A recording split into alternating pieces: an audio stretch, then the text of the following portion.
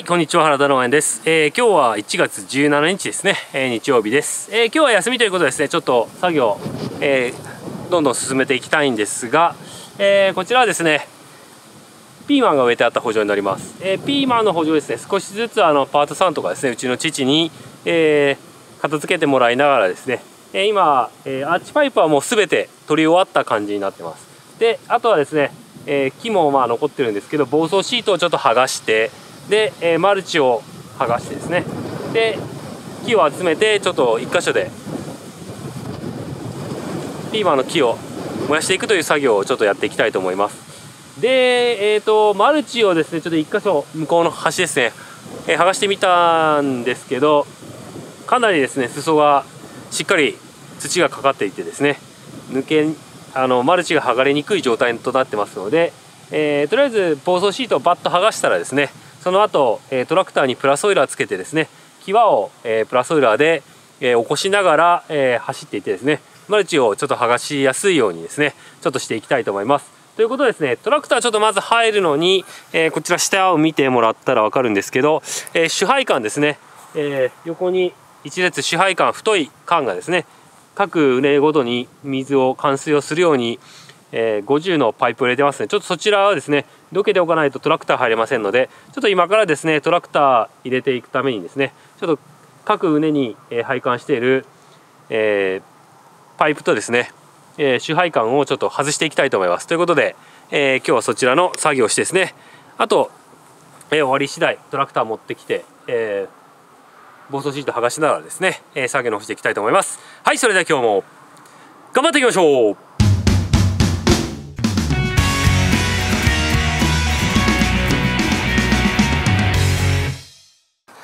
はい、えー、まずですね各畝ごとに、えー、ここですね点滴チューブに入っているこの、えー、パイプがありますんでこのバルブを止めてですね点滴チューブ抜いてから、えー、主配管が出るようにちょっとこのパイプをずらしてよいしょ。こんな感じでね。支配感が出せるようにしてでちょうど真ん中でですね T 字ジョイントで、えー、止めてますんでチーズを外してでパイプをちょっと避けていきたいと思います。ということで。チーズのところ外していきます。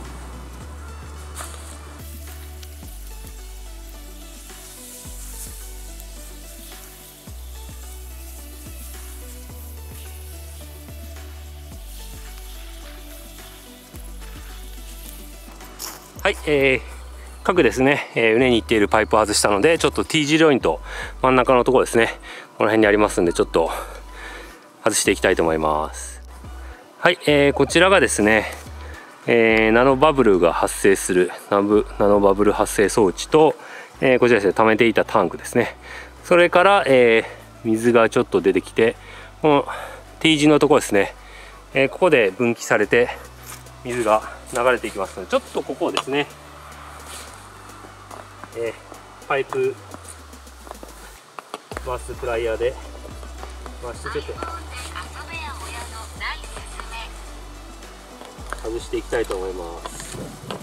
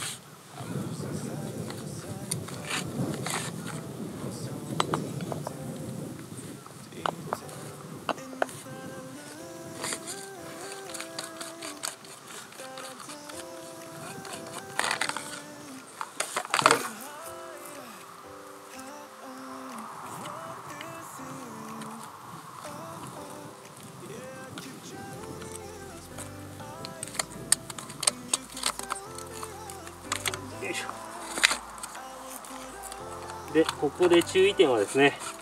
パイプにこのバルブの部品をつけたままにしておくとですね分からなく春につけようと思ったら分からなくなっちゃうんでとりあえずですね全部この T 字ジョイントの方に金具はつけておきます。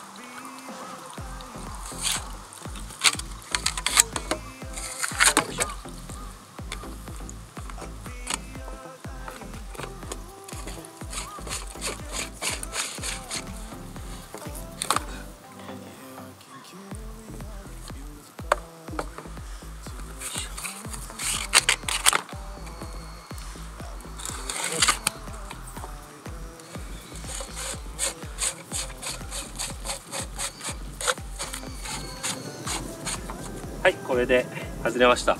ちょっとここからはですねこのパイプを1人では運べないので、えー、ちょっとまだ父かな、えー、ちょっと呼んできて、えー、2人か3人で作業していきたいと思います。ちょっとまあ片側ずつやれば1人でできるかなと思う。のでちょっと1人で片側ずつ動かしていきたいと思います。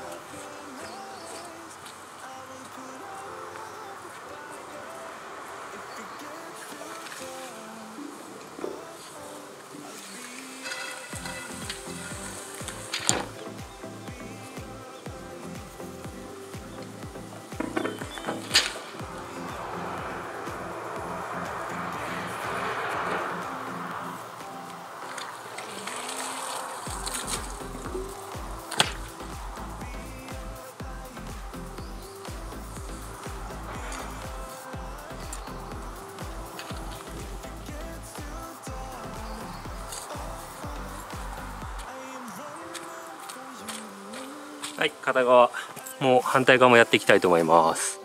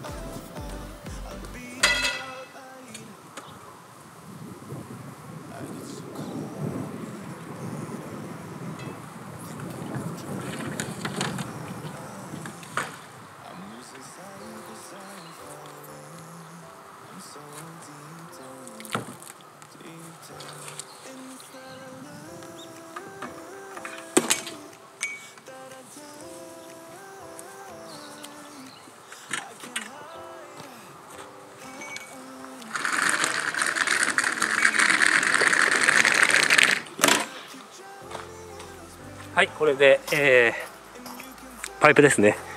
この支配感がなくなりましたのでちょっと今から、えー、こちらのピーマンの補助の防草シートをね剥がしていきたいと思います。はい風で剥がれるからということでですね結構あの厳重にピンを打ってますんでちょっと外すの大変なんですけどちょっと外していきたいと思います。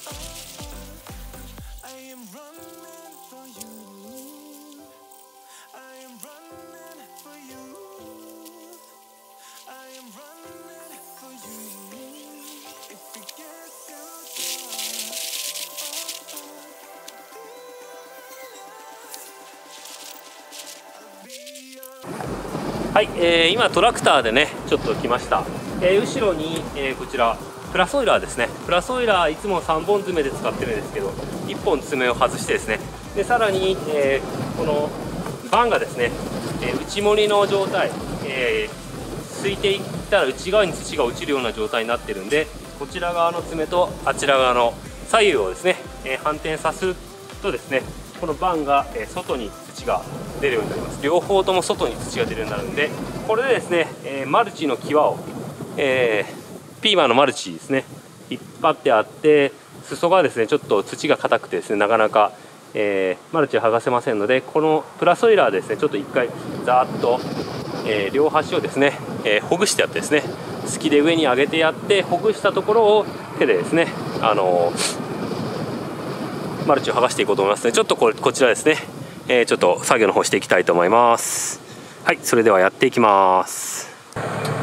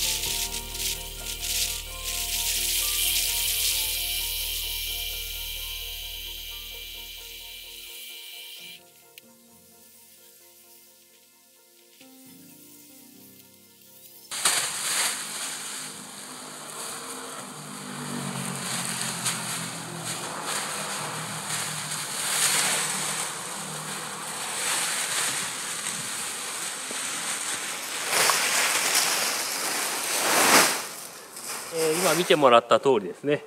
えー、ちょっと1回ではですね水平がうまくあのー、マルチもね水平になってないんで水平機能使っても綺麗にいかないんで、まあ、まず片方だけですね、えマルチを上げていって、えちょっと詳細は、え先ほど iPhone で撮ったんでちょっとそちらの動画も、えどっかに入れておきたいと思うんですけど、え片方行ってでもう反対側ですね、